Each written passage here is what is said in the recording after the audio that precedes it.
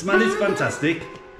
Uh, those of you who have subscribed, obviously you can smell it now because you've got um, smelly vision. Did you know that, guys? Look at the mess you're making, Steve. R- rice everywhere. if you subscribe now and ring the bell, YouTube is doing a special offer, but you have to subscribe within the next. Um, it's blooming hot, guys, today. I, I was dripping a bit.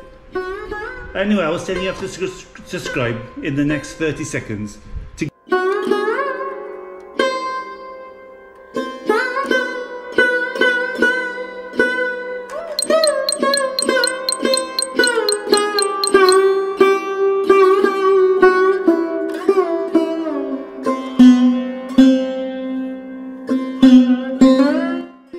Good morning from Englishman Foodie.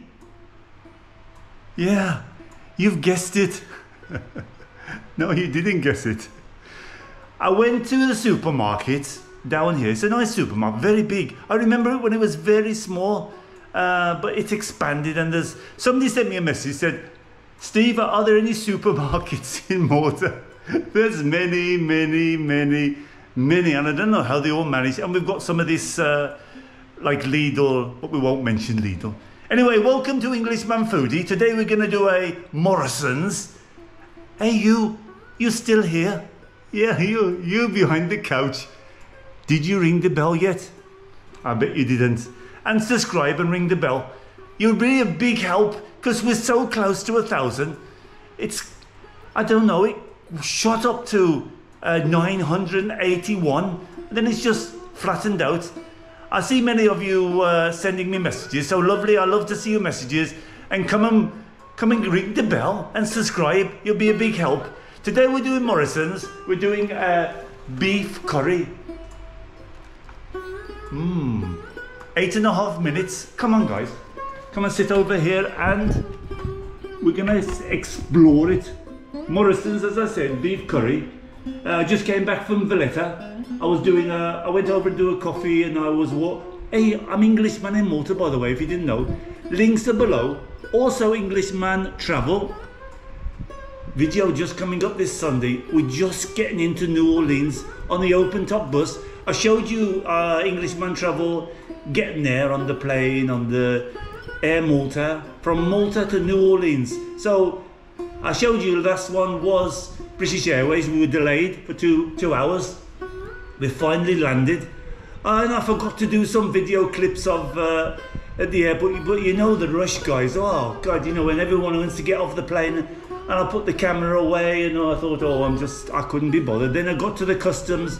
And it was all that. I was a bit nervous because there's no visas now. You have to, I don't know what it's called, you have to do this thing online, which is coming soon to Europe. So if any of you guys coming from UK to Malta, I think I think from November it's going to start. You're going to have to do this thing online. You're going to have to pay.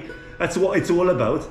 Uh, it's very quick and easy. You just put some details in uh, about your passport number and blah blah blah blah blah. And uh, in America it was very quick because I said to him, "Oh, I've got all the because I print. I'm old-fashioned." Steve, it's defrosting. Hang on, I'm old-fashioned. I print everything out. I'm not like these young ones that got. I, ca- I can't trust the mobile. I mean, what happens if the if something happens to the mobile? You've got your flight and you've got all your visas and everything on it. I print it all out anyway, just in case. But anyway, I went to the customs guy in America, in New Orleans, and I said, I've got the paperwork. No, no, we don't need any paperwork. Everything's here on the computer. Uh, he asked me a few questions and just said, Okay, guy, have a great time. Anyway, Morrison's beef curry. It's a tender pieces of beef in a mildly spiced curry sauce with servings of rice, one chili speck, eight and a half minutes in the microwave or 40 minutes in the oven. I'm going to choose the oven and I'm going to use the plastic again. Steve, you're going to die. Yeah, one day. Not too bad, easy opening. It's in one of these plastic boxes again one serving. It doesn't actually say Morrison's what it serves. Percentage is beef, tender beef chunks. Now, yesterday I went to the opticians because I'm having problems reading these small print. Even now I can't print it. can't read it. And I said, "Have- he said, your eyes haven't changed, you, you're okay. And I said, but I can't read the small. I said, but I don't want to expand it. But I said, you've got to read. So I might go to somebody else. I wasn't too happy. He used one of those, you know, when you got, last time I went to Oxford Street and he did my eyes, they had all the technical things with the computer. And this guy, he had the old spectacles and the thing. I didn't want to say anything to him because it's like disrespectful, but he got one of these old glasses and it was like putting these things in like slot slot. Does that happen? Anybody done their eyes, guys? Is that in England the same? They put the old. I remember when I was young, they did that. Put these old specs. They're heavy. They put the glasses in, and I have bifocals. And I said, I, I can't see because it's not in properly. Oh, just a minute. Then he dropped it. Then he, I said, it was 35 euros. I thought I'm going to go to somebody else because I don't trust this bloke. He, don't, he said it's normal, but I can't read that small print. I mean, can you guys? Is it me? He says you've got the starting of cataracts. So I asked a friend, I said, what? What does that mean? Is it going to come? He says, no, it happens years and years and years down the line. But does it? Tell me in the comments about this because a lot of my people are about my same sort of age. We're around sort of 20s, 20, 30s. Hey eh, guys. cataracts. He said, you've got the first start of cataracts. But a friend of mine said, oh, don't worry about it, Steve. It goes on for years and years. But does it? Am I going to be blind soon? Anyway, there it is. I, I was going to read what it said here. Hang on. I'll use this. I'm going to use this because the small print. I can't. I can't hack it. I'll tell you. Packaging. Uh, pierce. I'll pierce the lid. That's what we've got to do. Last time, I, I didn't pierce it, and it said you've got to remove it. That's how simple it is. Say you come from home and you want to bung it in the microwave, eight and a half minutes. It's a, it's a meal for one. Really, that's not for two.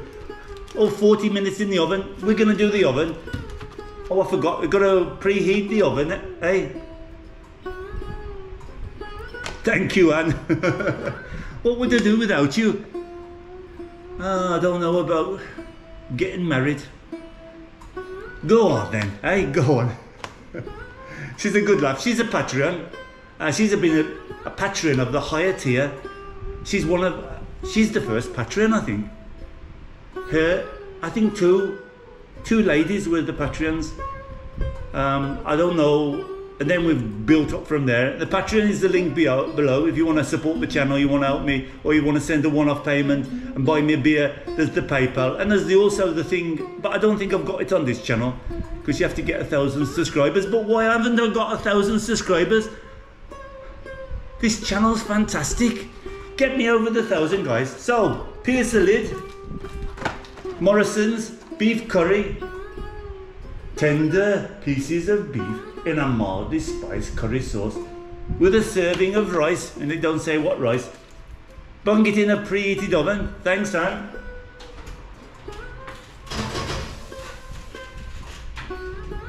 And that's it. what more do you do now? hey, watch a bit of uh, Englishman travel in between. For you, it's going to be like a few minutes. What shall I show you? Englishman travel. I might show you a couple of. Uh, I used to be a drummer as well. That's how I first came to Malta. If you want to know my history of uh, how I got to Malta, I might share it. Do you want to know? Tell me that, but not on this channel. I'll do it on Englishman in Malta. Hey, we have some fun, Englishman in Malta, Englishman travel. Englishman in Malta, I've been doing some sunsets and sunrises. Uh, I went swimming. I cooked some breakfast on the rocks. Don't miss it if you're new. A lot of my subscribers here, I think, are from Englishman in Malta. But if you're new, go and see it. The links are all below for Instagram, Facebook, Englishman Travel, Englishman in Malta. TikTok, not so much because I seem to just get two to three hundred views and that, that's it. But Instagram, I get a few. See you there, guys. I feel I show you a few little clips in between, so you don't get bored.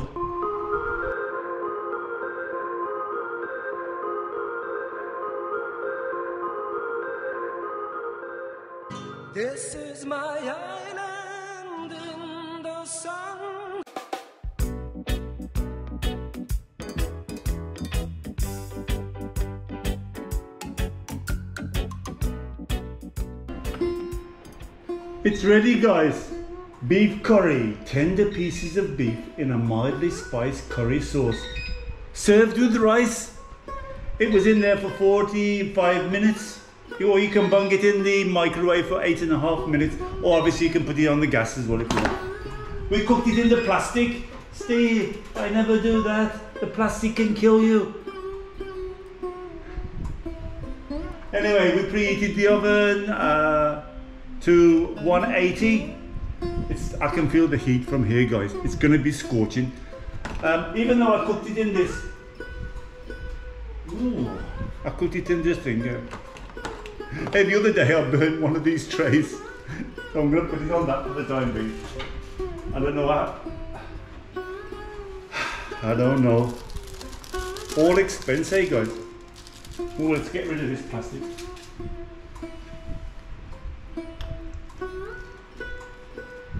Hmm, not very runny, guys. Not very runny at all, and and very large amount of rice. I'm gonna put it in this first. Maybe it'll cool it down a bit. Cause it's scorching.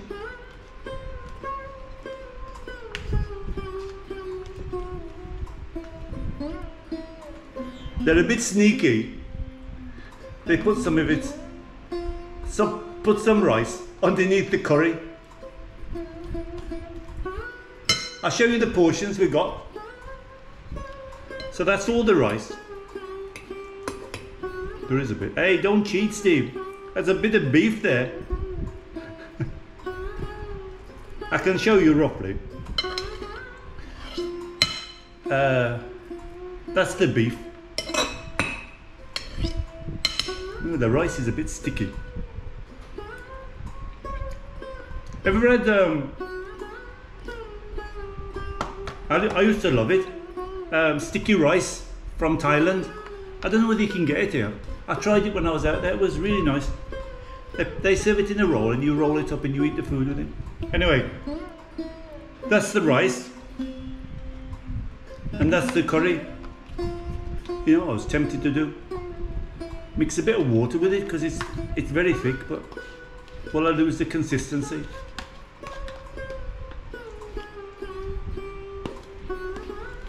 let's dump um, compared to the rice there's a lot of rice and there's very small amount of curry but the smell is fantastic uh, those of you who have subscribed obviously you can smell it now because you've got um, smelly vision. Did you know that, guys?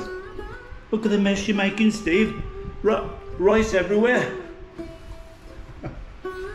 if you subscribe now and ring the bell, YouTube is doing a special offer, but you have to subscribe within the next. Um, it's blooming hot, guys, today. I, I was dripping a bit. Anyway, I was saying you have to subscribe in the next 30 seconds to get the new promotion from YouTube. It's called Smelly Vision. Uh, what they do, you just subscribe, but then you click the bell and put all. And then they, I'm not sure if you get it straight away, but you get it within uh, within a few days. And then whatever you watch on YouTube, you can smell the, and this is a fantastic smell. It's called YouTube Smelly Vision. Do it now, subscribe, and uh, click the bell for all the notifications. So whenever I upload a video, which is most Sundays, of the Englishman Malta, uh, sorry, Englishman Foodie, and obviously go to Englishman Travel, do the same thing. And while you're there, do Englishman in Malta. Might as well do all three together. Anyway, Steve, you your beef curry is getting cold. Uh, there wasn't much curry compared to a lot of rice.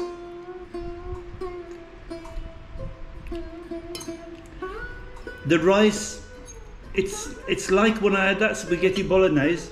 I'm not sure if it's up before this. It's like a small it's not a proper rice. It's quite tasty. I'm trying the rice first it didn't go soggy at all now I was tempted because I like my curries like a Balti with a bit of sauce in it whenever I do a curry I make it a bit more liquidy but this was, uh, there's the beef. Come on, you've got beef. Quite uh, decent chunks.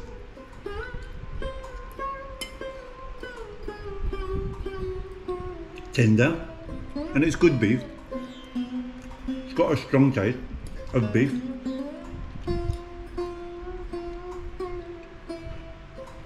Rice, rice and beef together, very nice. Just that I think should be a little bit more sauce. It seems like the sauce has dried up a little bit.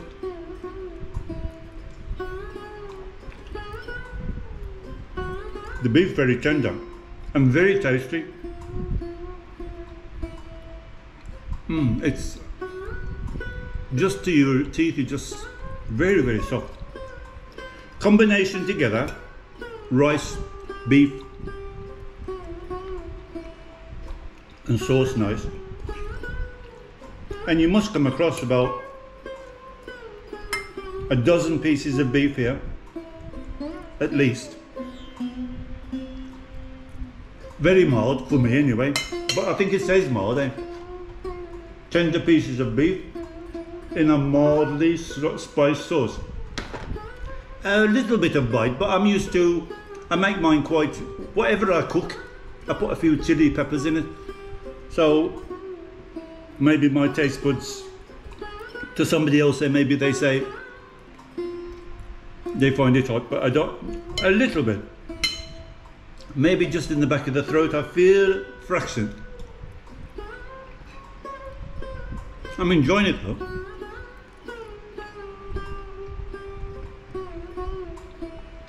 The beef is very, very tasty actually. Give them their due. I think this is over four euros. I'll put the prices and the equivalent down below. It, everything's gone pricey these days, eh guys? Everything is shot up in price. I'm sure this was over four euros. So obviously the sterling is very close to it. But you are talking about beef. And there is quite a bit of beef in. There's um, about a dozen pieces.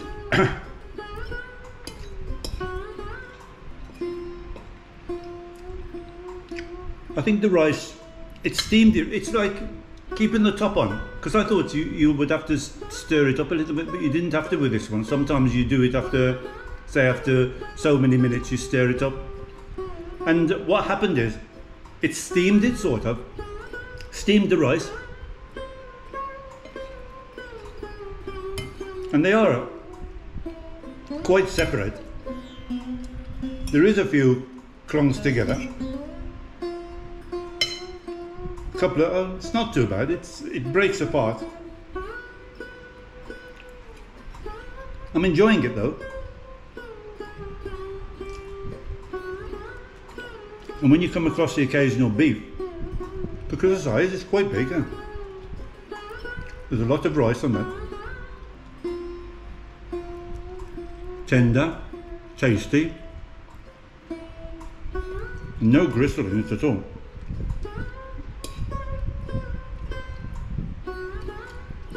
If I said anything about it, I think it could do with a little bit more sauce because the compartment was very small for the for the beef. Ratio was about three to one with rice against the sauce. if they could improve that slightly, or I was I was tending to maybe put a little bit of water in it. But maybe that would make it too watery. It could do with a few spots of hot water just to make it blend in because look how it's, it's dried up now and you've got a lot of rice left over. So if you made it more saucy, that would go down a lot better. So that's the only reservation, but taste very, very good. Rice, okay, it's steamed, it's steamed nice. Beef chunks, Always you could do it more, eh? But uh, about 12 in that small thing. Sauce. It's lacking a little bit of sauce. But apart from that, okay. Morrison's beef curry, mildly uh, spiced with rice